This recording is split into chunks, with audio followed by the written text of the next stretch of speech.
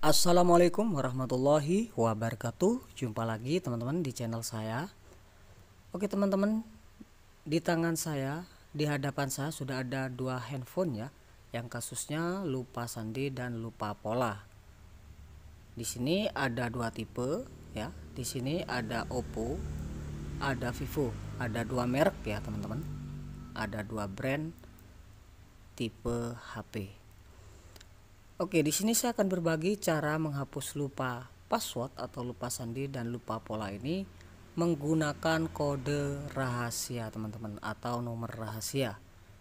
Nah, caranya sangat mudah teman-teman. Perhatikan videonya sampai selesai dan cara ini tanpa komputer ya. Jadi tanpa harus menggunakan komputer. Cukup menggunakan angka rahasia teman-teman.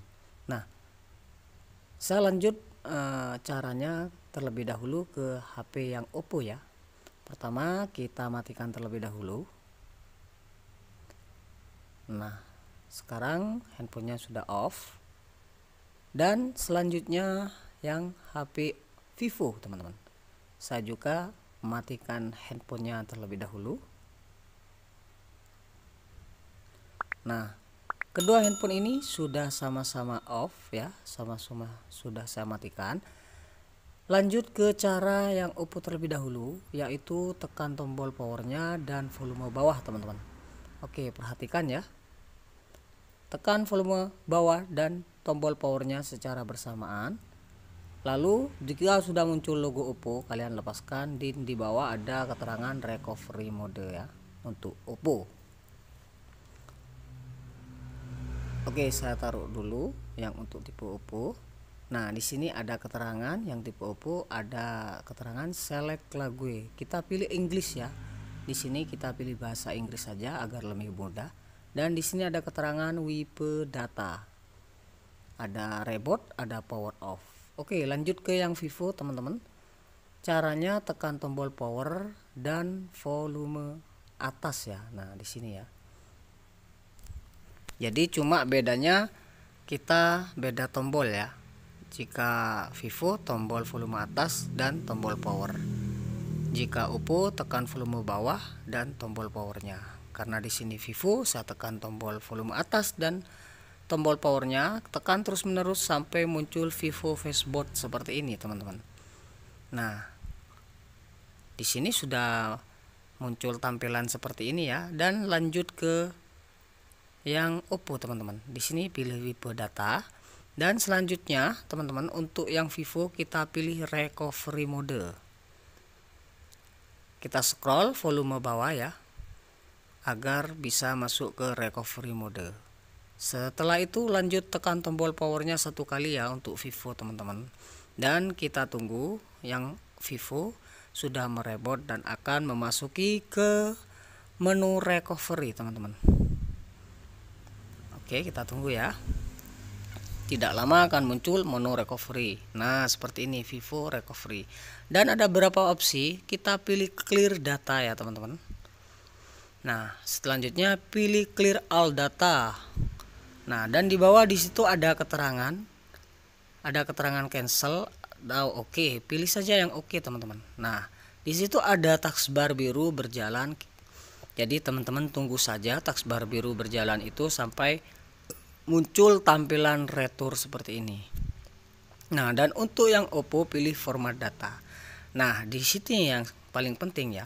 Di sini sudah muncul nomor rahasianya, teman-teman. Nah, nomor rahasia ini kita masukkan ya. Di sini nomor rahasianya 1937. Nah, ini yang saya katakan menggunakan nomor rahasia dan pilih format.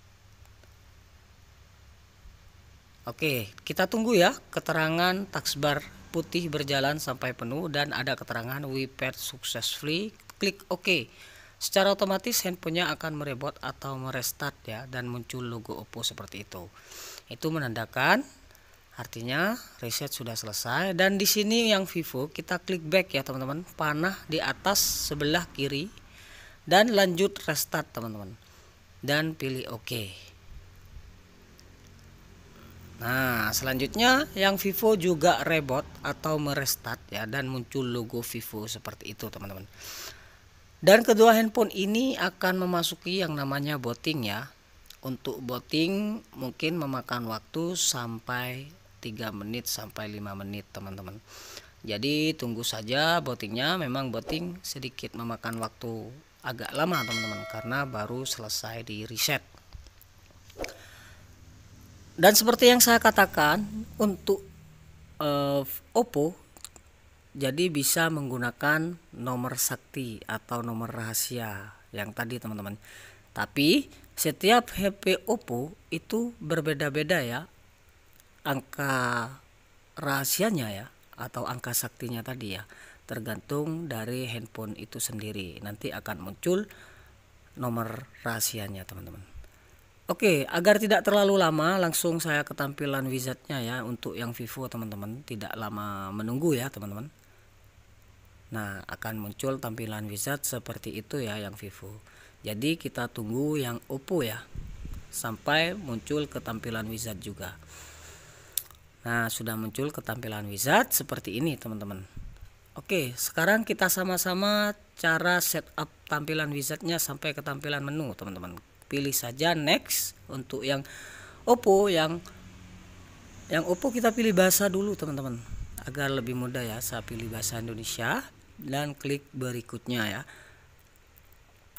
Dan yang Vivo kita klik mulai. Nah di sini sama-sama kita disuruh memilih wilayah atau lokasi teman-teman. Pilih saja lokasi yang teman-teman suka atau teman-teman tinggal. Oke selanjutnya kita checklist untuk yang Oppo agar bisa klik berikutnya Oke, selanjutnya untuk yang Vivo pilih setuju. Nah, di sini sama-sama kita menghubungkan ke jaringan WiFi ya, teman-teman. Apabila ada jaringan WiFi, teman-teman hubungkan ke jaringan WiFi atau menggunakan hotspot atau menggunakan kartu SIM yang ada datanya. Di sini saya menggunakan offline ya. Kita klik lewati dan di sini ada yang Vivo kita siapkan offline dan lanjutkan. Nah, selanjutnya scroll untuk yang Oppo dan pilih setuju. Yang Vivo kita klik berikutnya. Oke, scroll juga ke atas, pilih setuju teman-teman. Nah, di sini kita pilih nanti ya untuk yang Oppo. Nah, di sini ada keterangan nanti, pilih saja yang Oppo, yang satunya Vivo pilih yang lewati. Nah, di sini sama-sama ada keterangan berikutnya, pilih saja berikutnya teman-teman. Oke, lanjut. Di sini ada keterangan sesama import data ya. Di sini ada klik berikutnya untuk Oppo dan untuk Vivo pilih saja lewati. Nah, setelah ada keterangan seperti ini, untuk Oppo pilih saja berikutnya dan yang Vivo pilih lewati, teman-teman. Nah, selanjutnya yang Oppo kita klik lewati ya, pojok atas kanan ya. Nah, di situ ada keterangan lewati, kita klik lewati, teman-teman. Nah, di sini sudah ada sama-sama keterangan selamat datang ya dan sama-sama kita klik mulai dan satunya yang Vivo kita klik gunakan sekarang. Nah, secara otomatis handphone kedua ini langsung masuk ke tampilan menu, teman-teman. Nah, itu menandakan yang lupa pola atau lupa sandi sudah hilang. Sudah siap digunakan lagi handphonenya. Bagi teman-teman yang nanti dimintai verifikasi akunnya, jika ingat dengan akunnya bisa masukkan akun Google-nya atau akun emailnya di handphonenya ya. Bagi yang lupa bisa tonton di link deskripsi saya siapkan cara bypass FRP atau hapus lupa akun Gmail atau lupa akun akun emailnya yang ada di handphonenya teman-teman. Nah di sini kedua HP sekarang sudah selesai kita reset Oke, semoga video ini bermanfaat teman-teman. Akhir kata dari saya, Assalamualaikum warahmatullahi wabarakatuh.